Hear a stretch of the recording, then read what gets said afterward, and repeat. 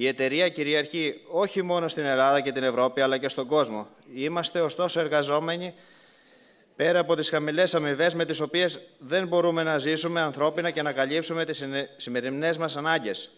Πέρα από τα προβλήματα που αντιμετωπίζει όλος ο λαός, αντιμετωπίζουμε σειρά προβλημάτων που έχουν σχέση με το ωράριο και τις συνθήκες εργασίας. Αρκετοί συνάδελφοι, για παράδειγμα, στα κλουβιά, στο τάισμα, αποχώρησαν από τη δουλειά γιατί ήταν υποχρεωμένοι να σηκώνουν καθημερινά τόνους ψαροτροφής. Δεν έβλεπαν παρά τη μέρα που θα ξεκουραζόμασταν. Είμαστε εκτεθειμένοι στον ήλιο, στο κρύο, τη βροχή, αφού τα ψάρια πρέπει να ταϊστούν. Βάζουν σε κίνδυνο πολλές φορές και την ίδια μας τη ζωή, αφού ταξιδεύουμε με φουρτουνιασμένη θάλασσα και άσχημο καιρό. Σήμερα όμως αυτό που θέλω να το επισημάνω δεν είμαστε όπως πριν, στην αρχή. Όταν πιάσαμε δουλειά φοβισμένοι για να έχουμε δουλειά με, με υποχωρήσεις, ξεκάρφωτη, χωρίς οργάνωση, χωρίς δηλαδή σωματείο.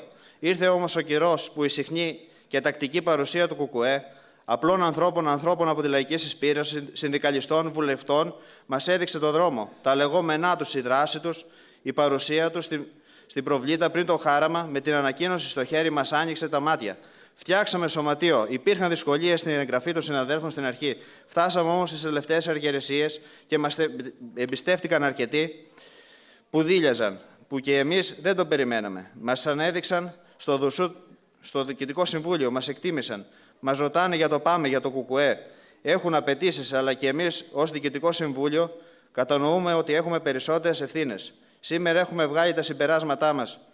Πως όλο αυτό το τηλεγραφικά ανέφερα οφείλεται σε εσάς, στους κομμουνιστές, στο ΚΚΕ. Σας, σας είδαμε δίπλα μας. Είστε οι μόνοι που ήρθατε και γνωρίσατε, γνωρίσαμε στη δουλειά μας.